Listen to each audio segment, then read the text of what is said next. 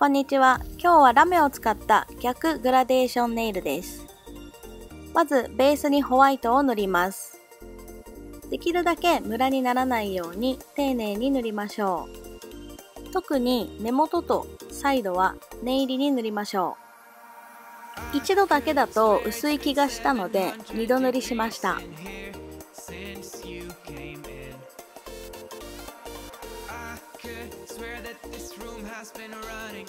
今回はこちらのシルバーとピンクの大きいラメの入ったジェルを使用します。まずシルバーのラメを筆の先に少量取り爪の根元にのせます。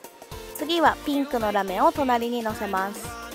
このように境目をポンポンとぼかしながら爪の先端に向かって少しずつ伸ばしていきます。ラメが足りないところはその都度足していきましょう。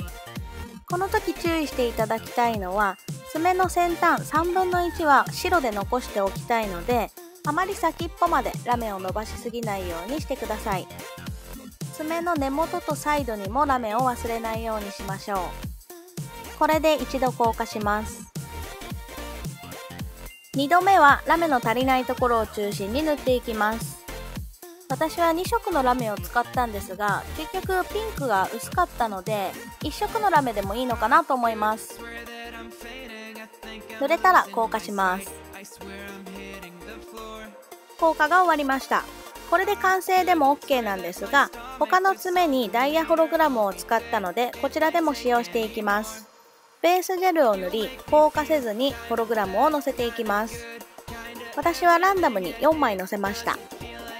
根元はラメで埋まっているのでホログラムは先端を中心に乗せるといいと思います。ホログラムじゃなくてラインストーンやシェルを乗せても可愛いと思います。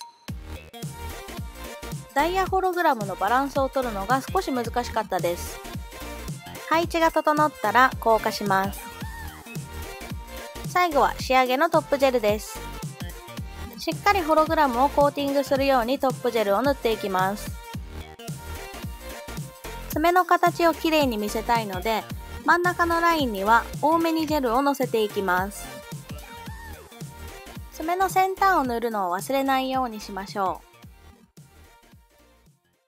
う。硬化して未硬化ジェルを拭き取ったら完成です。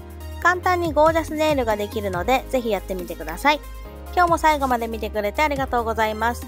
この動画が良かったら高評価そしてチャンネル登録コメントもお願いします。